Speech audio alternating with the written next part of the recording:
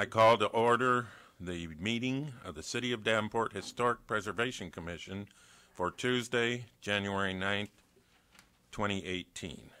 If you have a cell phone, please place it in the silent mode or turn it off. We welcome everyone who's watching us at home on the city's cable TV channel. The Commission has before it the consideration of the December 12, 2017 meeting minutes. Are there any changes, deletions, or additions? Hearing none, I would entertain a motion to approve the minutes. So moved.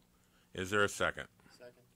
All those in favor of approving the minutes of December 12, 2017 signify by saying aye. Aye. Those opposed, the minutes are approved.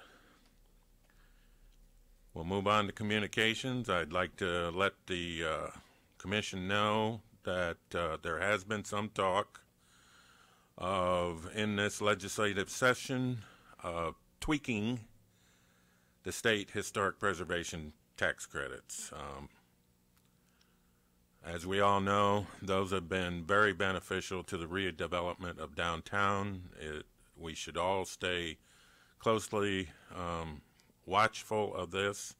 I've had discussions with both uh, Bruce Berger here at City Hall and then um, Kyle Carter with the Downtown Partnership, and they're also watching the developments in Des Moines.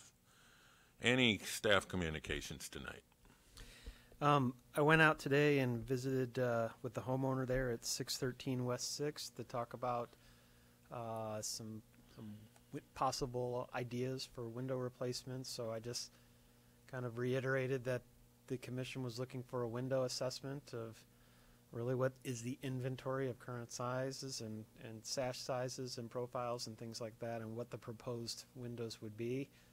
Um, I think there's a little bit of a rush on his part. I think he's trying to finish some interior renovations to refinance to, to probably get some money back. But I kind of reiterated, kind of we stumbled out of the gate, and that I think caused a time delay. Um, the other, I don't know if this is appropriate for communications, but we saw some uh, times to meet out at the Renwick Mansion. I don't know if you want to discuss it under other business. Um, We can do that. Okay. We have no old business tonight. We'll move on to new business, and that's case number COA 18 01. Install new sign and banners at 129 Main Street, listed as the J.H.C. Petersen's Son Store, and is located and is a local historic landmark. Deb Powers is the petitioner. Would you like to address the commission on your proposal? I would. Uh, it is known as the Petersen Building, but it is commonly known for the last 14 years as River Music Experience. We have the Redstone Room upstairs, and for this commission's sake, we attracted 321 ticket or ticket buyers from 321 different unique zip codes in the um, year of 2016. But the largest single complaint we have is we don't know where you are. We have no, virtually no exterior signage. So our objective here in front of the committee tonight is to ask for the ability to install an exterior sign. The banners that are included in that already exist. We're only looking to upgrade those and make them look much nicer. Do you have any questions? No. Thank you. Staff report? Yeah, we don't have any adopted design guidelines um, for the Petersen building. Um, so you're just looking at this as I look at this as a sign being something that's reversible, could be easily removed as long as there's no drilling or mounting into the, any of the masonry.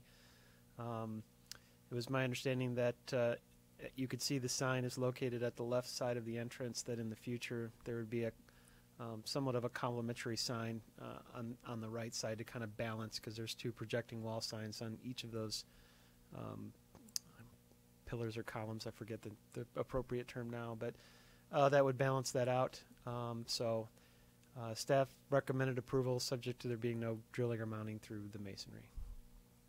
Okay. Are there any questions from the commission?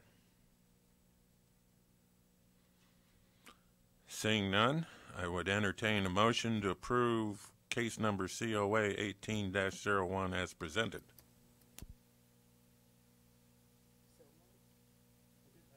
Okay. Commissioner? Yes, um, my question is to review this. Um, I assume if there's no specific local guidelines, we would be looking at the Secretary of the Interior standards? Not necessarily on signs. We would be looking more at the downtown, not even that. No, so you would look at, I, I would say it'd be akin to yes. Uh, you'd be looking at the local historic preservation ordinance, which is modeled after the Secretary of Interior guidelines. So when you have a local historic landmark, you're exempt from the downtown design guidelines and restrictions. And so you are reviewing and approving this based on the historic preservation ordinance. But we also in the past have not dwelled so much on content of the sign as what you stated in your staff report of where it's mounted to the building. Yeah, in fact, Commissioner Cordes and I were briefly talking about this earlier. It's there's recent case law that the Supreme Court ruled that we can't talk about the content of the sign. You're only looking at the design of the sign. So certainly you can talk about things like if it were, if there were um, fluorescent lights or, or neon lights or things like that. You can begin to look at those design details, but you can't really get into content. I guess my only question would be, is the sign about the same size, size as the Falbo sign that we approved last year out front? Would, would you come up to the podium? Gosh, oh man. Yeah, I don't have exact measurements of the Felbo sign, but it's probably half again as large. It's similar in height, but it is broader. So um, you can see the Felbo sign is roughly the same size. You can see just to the left of the RME uh, is the Woodfire sign, and it's it's actually a little bit larger than the Felbo sign. Yeah, it's hard to see in that photo. But it's right there. And, and, and you can see height-wise, pretty similar. In fact, we're actually, the uh, proposed sign is actually a little shorter than the, than the wood-fired grill sign. Does that help? So this doesn't really project over the sidewalk. No, It projects into the opening. right. Okay.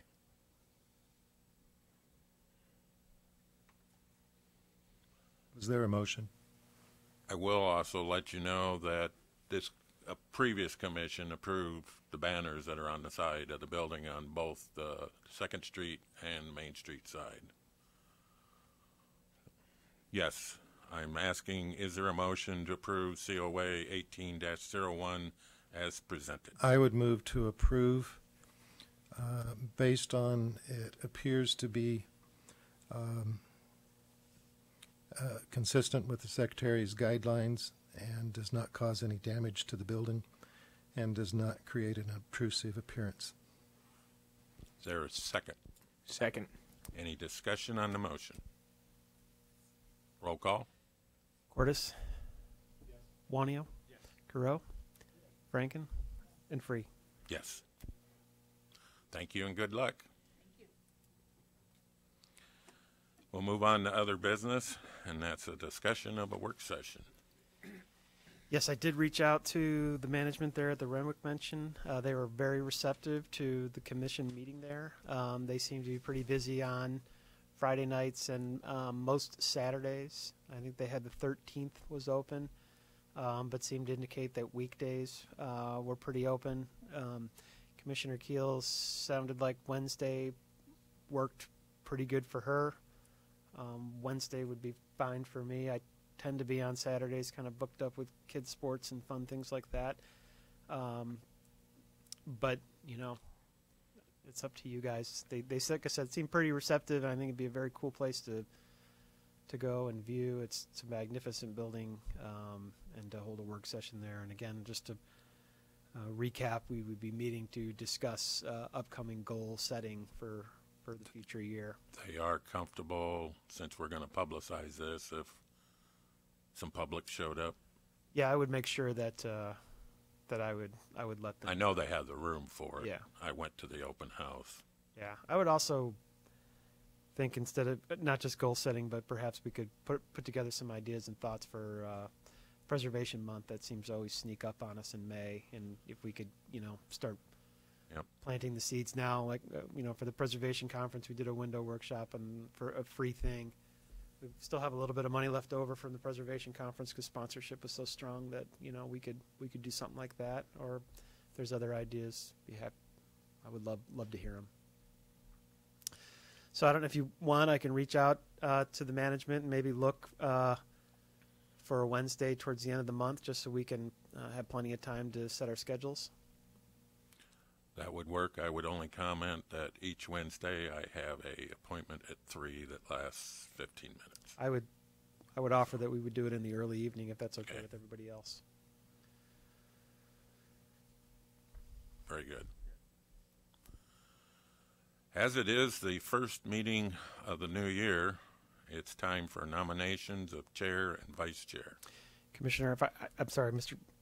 I should probably put that on the agenda, and so Okay. let's let's go Uh, ahead. Next You're- month. You're right, but I want to make sure we we have that on the agenda. Okay. So I'll I'll do that next month, and we can we'll, we'll probably have a, a fuller board then, and All we right. can do. Is there any other business from commission members tonight? Saying none, is there anyone from the public that would like to address the commission?